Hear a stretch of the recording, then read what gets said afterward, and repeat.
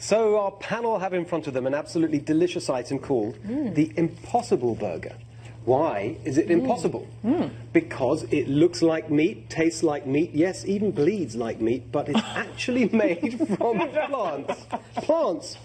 It's the brainchild of Silicon Valley's Impossible Foods, and their mission is really interesting. Basically, as the world gets richer, more and more people, there's some munching going on, very good. More and more people around the world are developing a taste for meat and the budget to pay for it. But that isn't just not sustainable. So, Impossible Foods' plan is to invent new choices for people around the world that satisfy their taste for delicious meat in a sustainable way, as well as opening up whole new business opportunities for our farmers.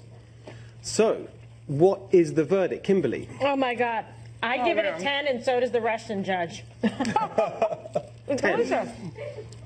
So What do you think? It's a pretty Holy serious cow. burger, I have to say. This is amazing. I'm just, I can stay after, right? No, no, You the like thing is, to I, finish? I had it, and we actually did a side-by-side taste test with a burger that was um, a traditional burger made of actual meat, and we definitely preferred this. I'm going to have mine after. It's amazing. very juicy, Steve, so I suggest you wear a little bib of sorts. Or Well, and for those, Exactly. of us, for those of us who who do care about and think about our impact on the environment, I mean, oh my gosh, this is so good.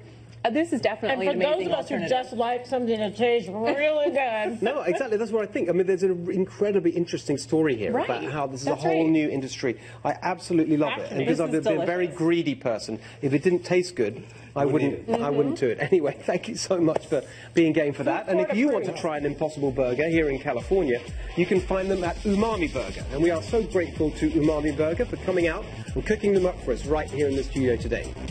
So before we leave you tonight, I want to thank our panel for their contributions and their feasting.